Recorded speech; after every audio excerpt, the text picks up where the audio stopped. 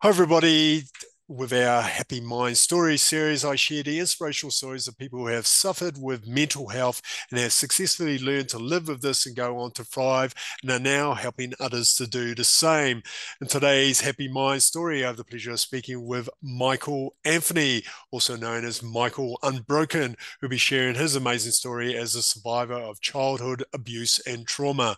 Michael is an advocate for adult survivors of child abuse and childhood trauma, international speaker, and and author. He's been called the Tony Robbins of trauma and spends his time helping other survivors get out of the vortex to become the hero of their own story and take their life back.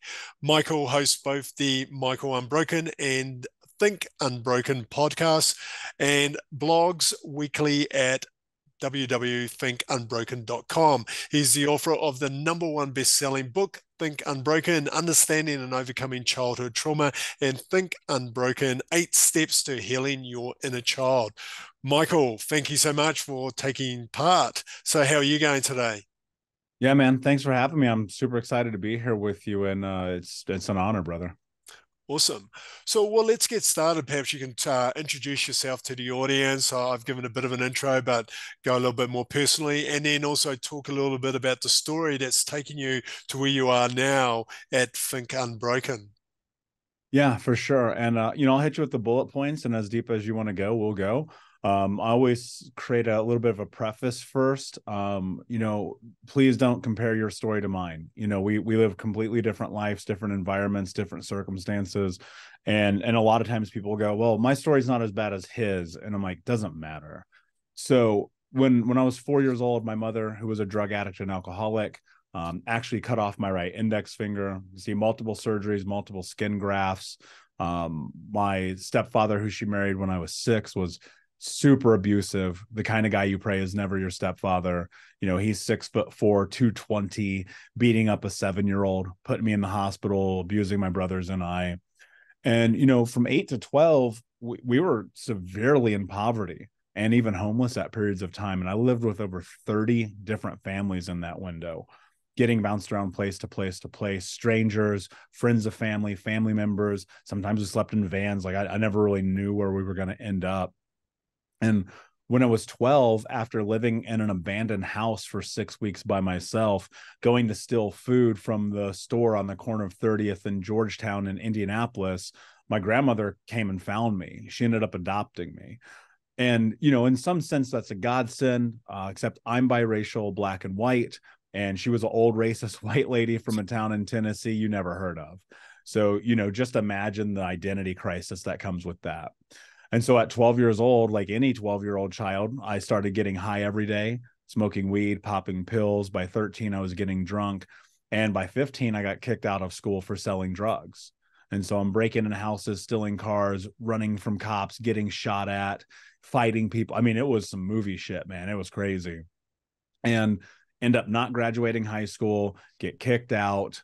I find a solution to poverty, at least what I thought at the time in my mind was money. And so I made a declaration when I was 18. I was going to go make a $100,000 a year legally. And the legal part was very important because I have family in prison for life. I've been in handcuffs more times than I can count. And my three childhood best friends have been murdered.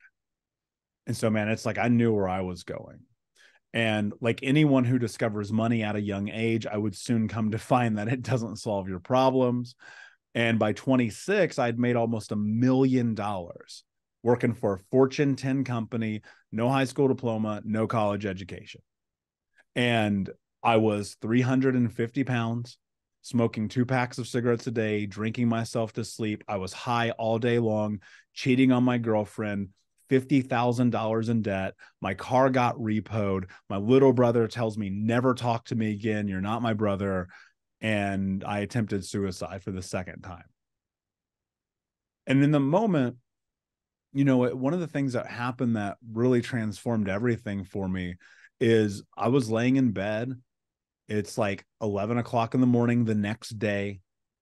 I'm eating chocolate cake and watching the CrossFit games like dude i'm this like in this massive rock bottom moment and i picked myself up i went and looked at myself in the mirror in the bathroom And I remember being eight years old, and the water company had come and turned our water off.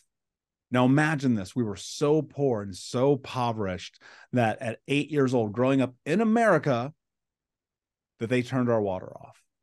And that day, my mom said, Go across the street to the neighbor's house and get water, but do not tell them, do not knock on the door. And so, for the first time in my life, I stole water. Would not be the last time. And I remember being like, when I'm a grown up, this will not be my life. And so on paper, it wouldn't look that way. I'm dating a smoking hot girl and I have the best condo and I have all this money and all these clothes and all these friends and all this bullshit. And as I was looking at myself in the mirror, I realized I was breaking that promise I had made to that eight year old version of me. And I asked myself a question. It's like, what are you willing to do to have the life that you want to have? The answer was no excuses, just results. And almost 13 years later, man, here I am talking to you. Awesome. An incredible story. So, well, now let's talk about what exactly is childhood trauma and, and how can it kind of like manifest itself later on for adults? Because this is the area you kind of like work with. I mean, you know, I think there's some statistics I've seen you kind of like speak about as far as childhood trauma, and it's quite quite astronomical. There's a large percentage of us who've kind of like had that experience, and this is kind of like impacting us later in life. So maybe you can talk a little bit about that. Yeah, I mean that's the most important thing. Uh, like I'm super analytical, right? And so when when I got deep into my own healing journey from like 26 to 30, I was like constantly just researching, trying to understand, bringing in all the information and data because I was trying to like figure out why these things kept happening to me why would I get successful and lose it? Why would I have a great relationship and then cheat? Why would I make money and then be in debt? You know, and I was like trying to really understand this stuff. And so I, I first let me define, and this is my opinion of what trauma is. It, it's not the experience that happens, right? Scars heal, wounds close. It's the continuation of the impact of that negatively implementing itself into your life daily it's when you're walking down the street and you smell something and you get triggered or you hear a door close and you get thrown into a hyper vigilant state or every single time you're in conflict with someone you shut down and all of that being based on those experiences of the past which were ultimately transferred into survival mechanisms. You know we have these autonomic responses to stressors based upon our developmental years that help us stay safe right? And so it's like you look at the the fact that when trauma is in your own house most kids who grow up in households like me who uh, you know don't have the opportunity to ever be in rest to ever be able to recover to they're always in fight or flight and when I started doing this research, I started being like, man, this makes a lot of sense. I see why this is happening in my life. So initially, I came across this study called the Adverse Childhood Experiences Study. This was done by Dr. Felitti, the Kaiser Permanente, and the California Center for Disease Control. I will say this I respect the shit out of this study. I think it's great. It's not deep enough. I feel like there's still depths that we need to go. But it was it was based around 10 questions and trying to figure out whether or not your childhood experiences would actually turn into long-term detrimental health ramifications. Like unequivocally the data all port points to yes. And so those questions are I'll just give you a couple of them. When you were a child, did you ever not feel taken care of, loved, or supported? When you were a child, did one of your parents have suicidal ideations or commit suicide or have a mental health disorder?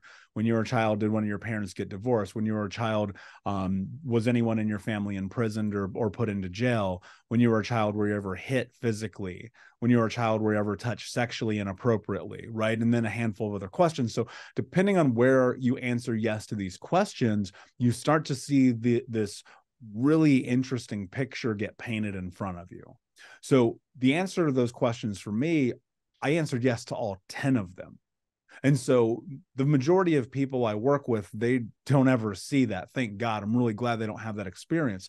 However, statistically, especially in the world we live in today, most people are going to answer yes to one of those questions. The vast majority. Typically, you see with divorce rates of 65% in America, you're probably going to have a parent who was divorced, right? And so automatically that's considered a child adverse childhood experience, which makes sense because you lose the parental bond and connection and depending on how you look at love as a child, it kind of skews your reality, right?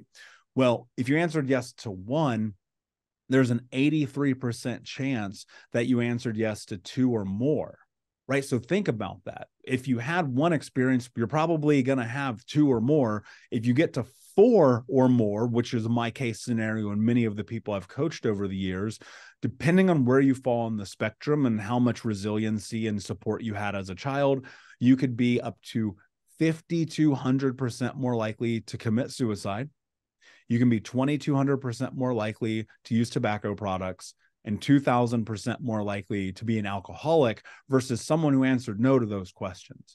Not to mention the exacerbated increased potential of heart attacks, pulmonary embolisms, heart attacks, diabetes, cancer, and dementia.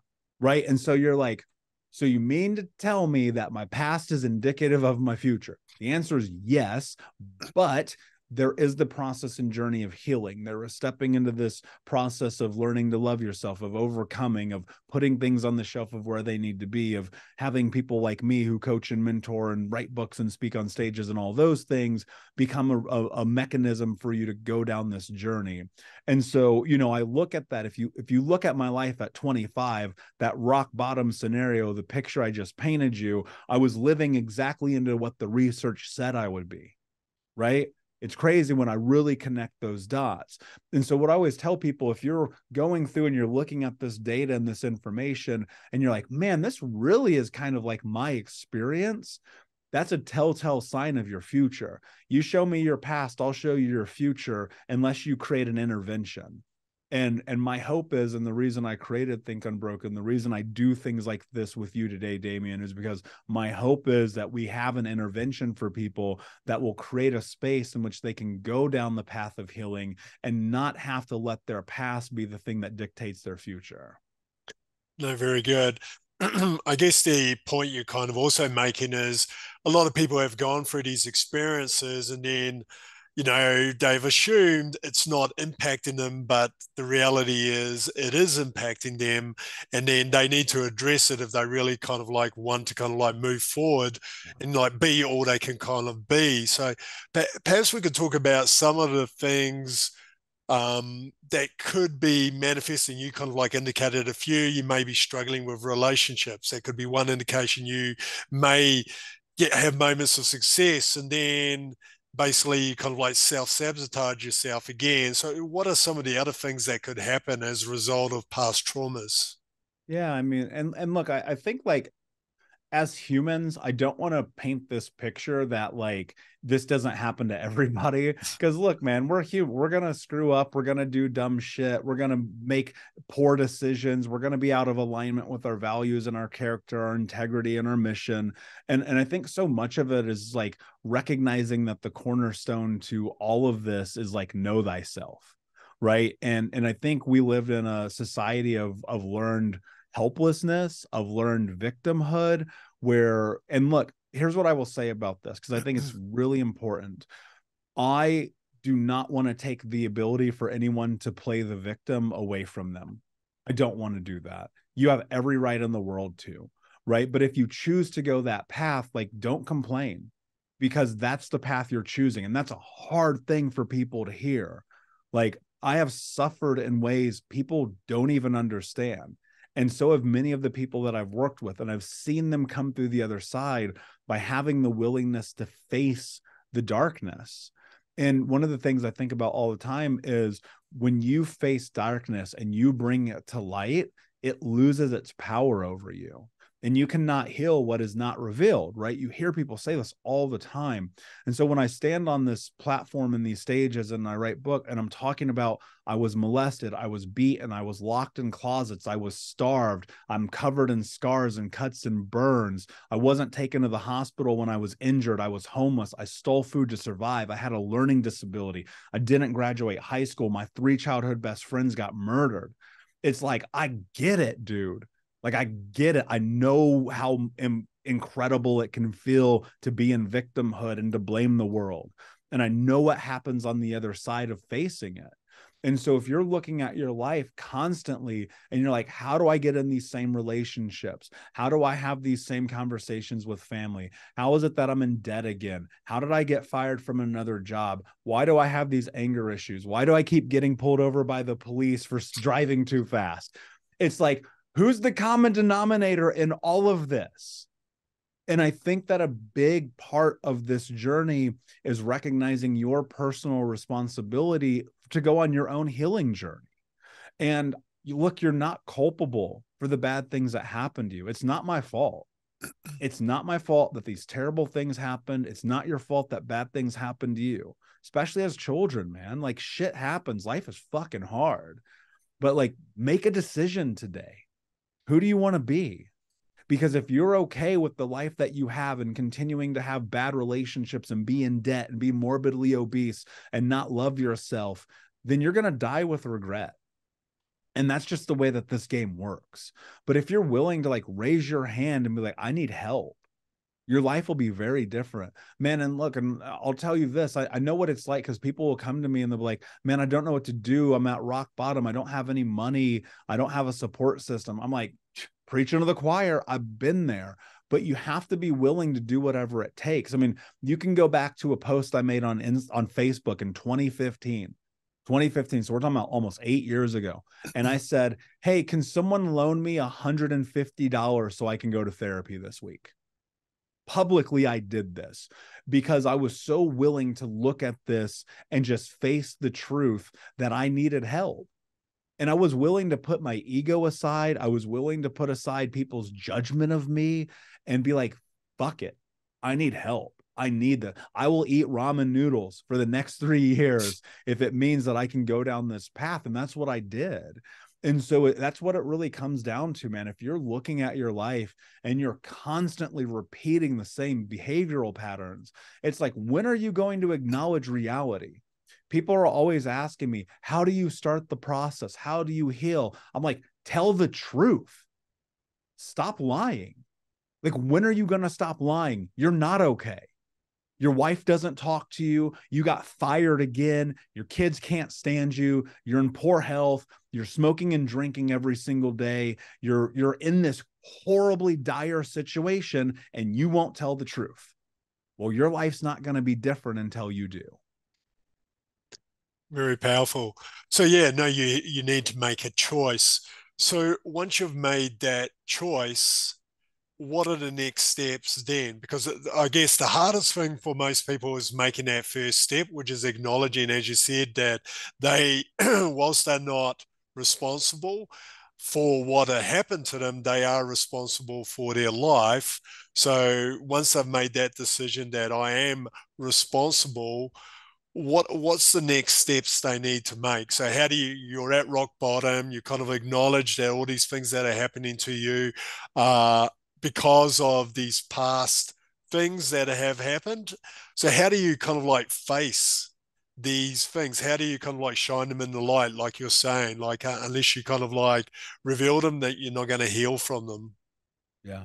Well, you know, here's the best part about rock bottom, man. You can't go any lower. you know, so it's like shit. I'm at rock bottom. Life is really bad. Good, good. Now you know what you don't want.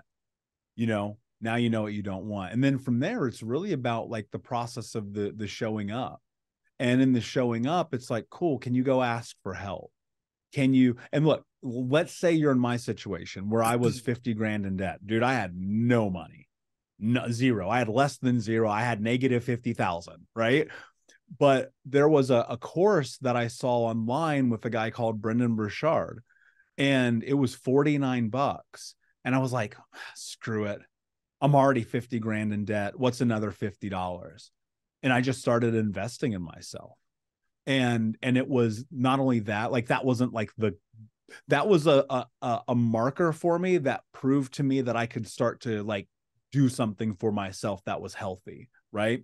And so it was doing that and then it was I'm going to go to therapy. I'm going to find a therapist and I'm going to be honest with this therapist. And then I'm going to get a coach but before then, because I don't have any money, I'm going to read all the books and I'm going to go to all of the events that I can go to and I'm going to just surround myself with positive positive people. I'm going to change my environment. I'm going to change my physical state. I quit smoking, quit drinking, started working out, um, started doing yoga, meditating, journaling. Um, and then it was just kind of like this waterfall of just trying all these different things. I don't think any one modality solves the problem for people. Like, to be honest with you, I, I think it's a journey of you just have to constantly be testing. It's an iterative process. It's kind of like doing a, you have a hypothesis, right? You're like, I think I can heal myself. I think I can love myself but I cannot do it alone, right? I don't believe you can do this alone. I truly don't. I will stand on that all day long. And so, like, I have this hypothesis. I think I can heal myself, but I know I can't do it alone. So, where do I start? Well, you don't start with your friends and you don't start with your husband or your wife and you don't start with your employees or your business partner. You start with people who are trained professionals who can help you.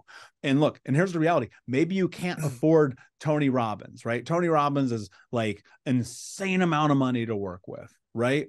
And maybe you can't afford me because I'm in the middle and maybe you can't afford somebody who's put together an event like this and it's whatever this event costs and it's like find a way to make it happen.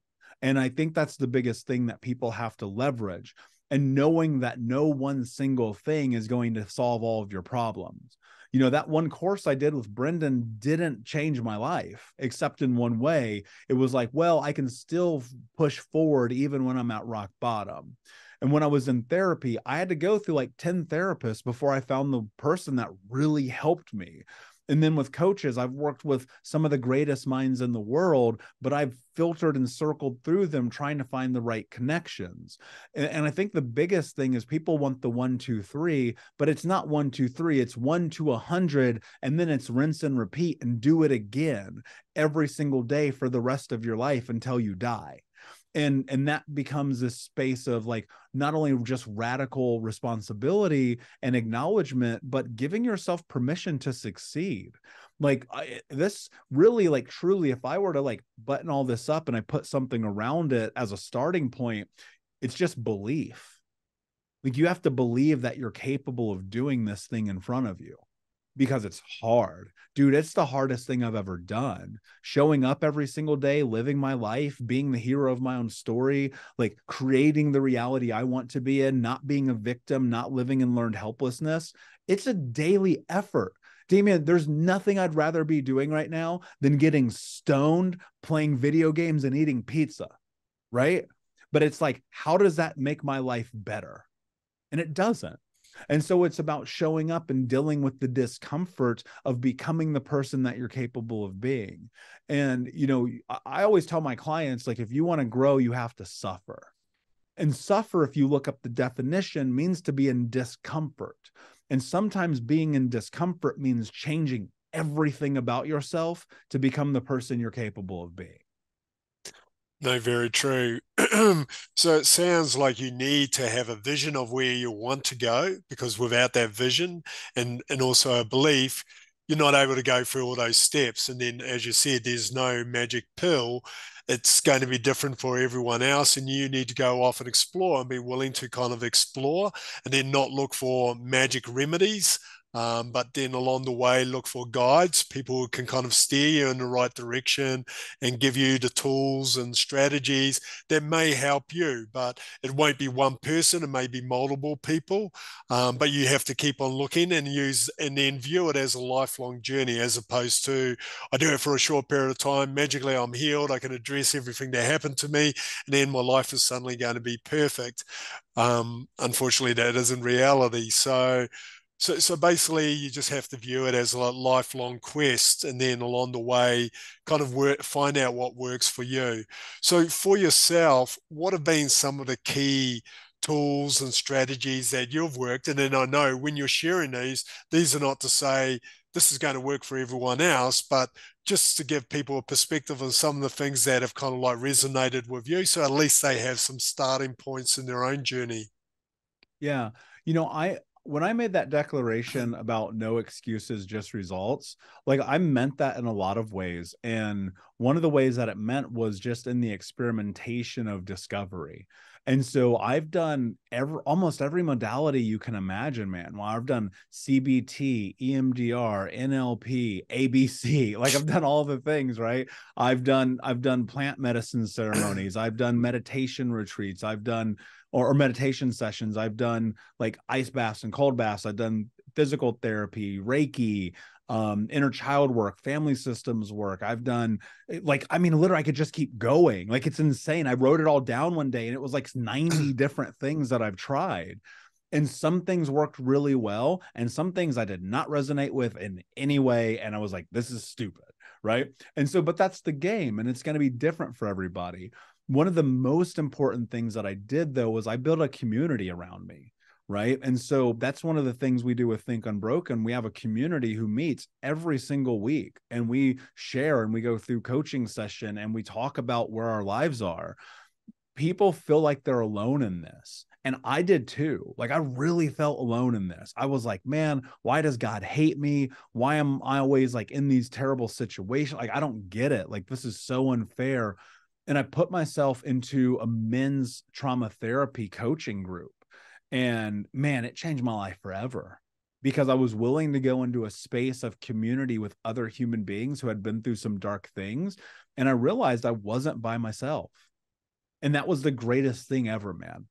Really, it truly was. And so that's why I created a group program myself. And so when when I advise people about really those first steps and what they should consider doing, so much of it truly lies in the idea that it's like go be with other humans. Stop being isolated. Stop being by yourself. Like it's like i heard one of my mentors tell me this one time. He was like you think you're having a bad day? Go to a soup kitchen. Go to the abuse shelter. Go to the animal clinic. Go be of service to people and he said something to me that was just so fat. He's like, if you're depressed, it's because you're being selfish. And I was like, well, I don't know about that entirely, but I get the concept, right?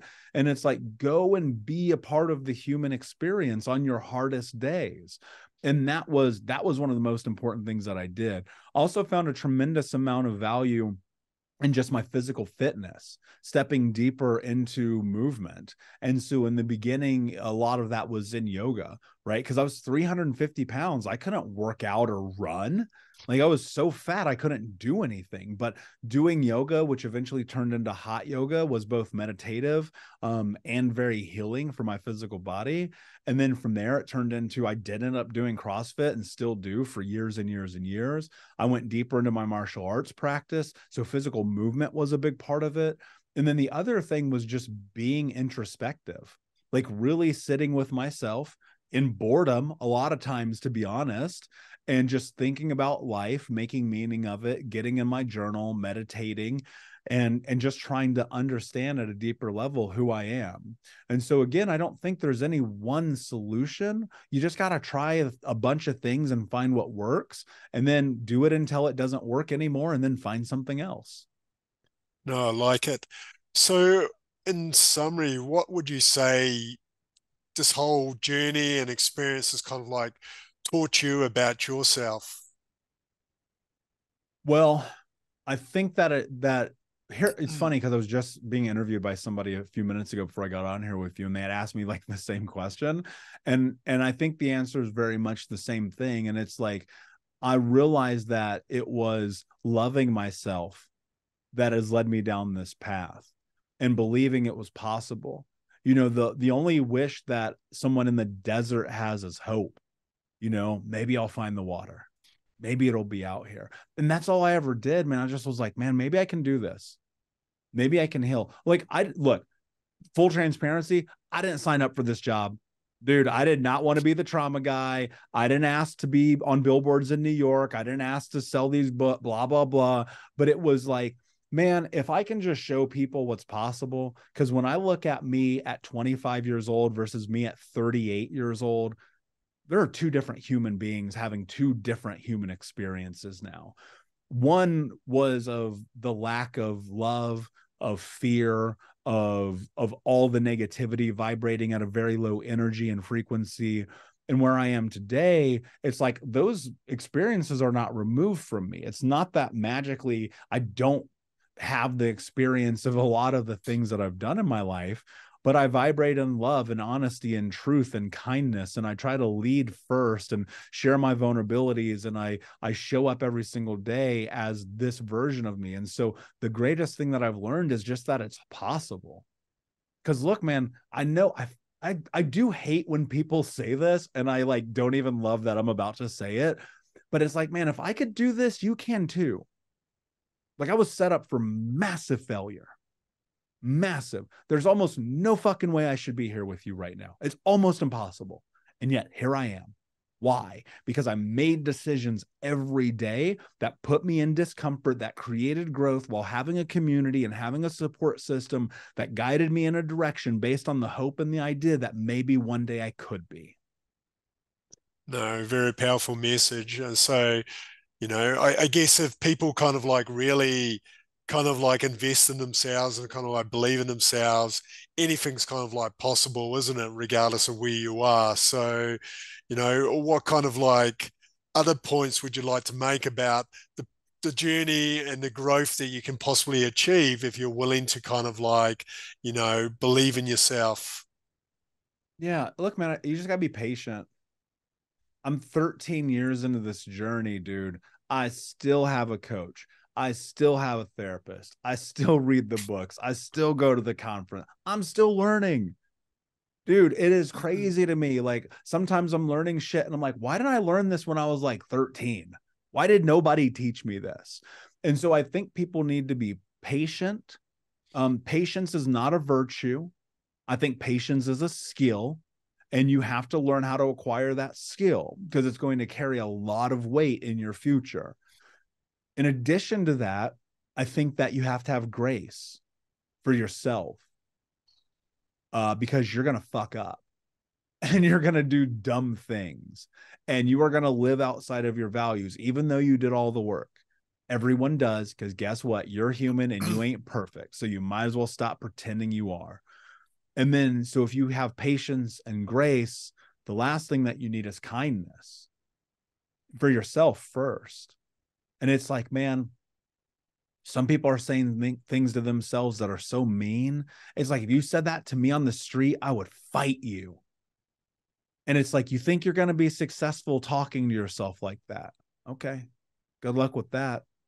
So I think it's patience, grace, and kindness, man. No, awesome tips. So, what would you say to your younger self? Like, so now 38, looking back, what would you tell yourself at age 13 or Nothing. younger? Nothing. Because one, I wouldn't be here. And two, I wouldn't listen. I'd be like, get out of my face, old man. You know what I'm saying? and so it's like, it's like, man, you can't, mm. you know. And I get the question. I appreciate it. I, I I know why you're asking the question, but I know me for sure. I'd have been like, get out of my face. You don't know anything, right? And so if I were let me put on the other hat, the the answer that I would give, knowing that the reason why you asked the question is I would probably tell that 13 year old version of myself to don't quit. That's it. Just don't quit because you can't lose if you don't give up. It's impossible. This is an infinite game. And so I think about like my goals, my dreams, my ambitions, my relationships, my friendships, my career, my health, it's like, dude, until the day I die, I am not quitting. I don't care how hard this gets. Very good. What would you say we could do to help people say, like yourself, when you were like 13? Like, I know the, as you said, 13 year olds are kind of like rebellious. They don't want to kind of like listen to anyone else. But what could we do to kind of give them hope earlier on? You know, if they're going through these traumas, they've had a hard upbringing, they've experienced things in life that are definitely going to shape them.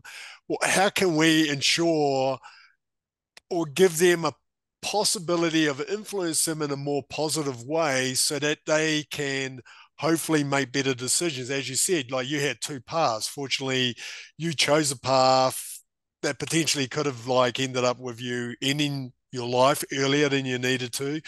And then now you're on this particular journey. So you know it's almost like a flip of a coin for a kid at mm-hmm. that age. So how do we somehow help them see there is a possibility beyond where they're at at this particular point of time. Yeah you know i think i think children need certainty. I think they need to have people they can trust. Um i think they need people who can actually show up.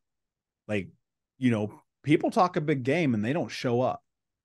You know i think kids need to see what's possible you know I, I, wish somebody one of i do reflect on this a lot actually.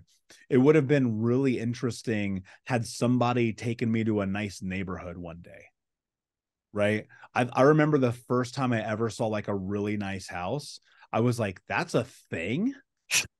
You know what i mean? Like show kids possibility.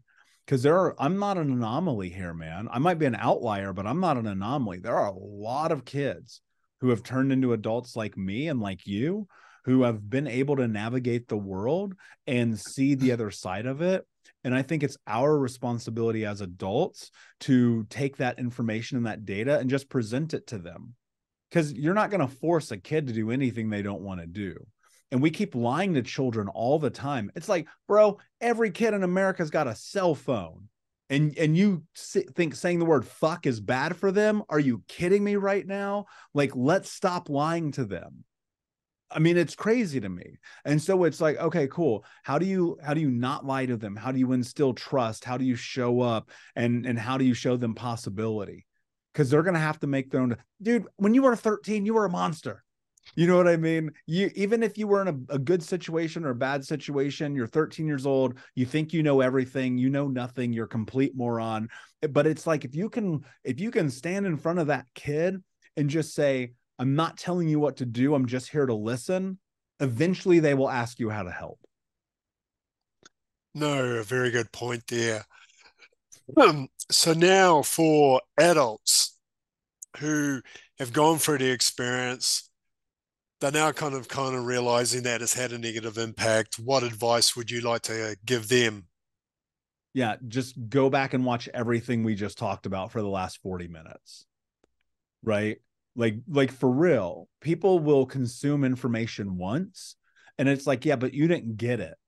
The the seed's only just been planted. That's why same thing in the in, in the first book.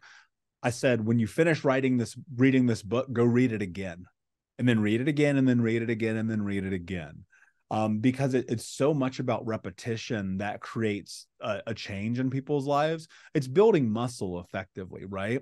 And so I would say to anyone who is really taking this journey seriously, it's like you will never do anything one time and have success. It's impossible.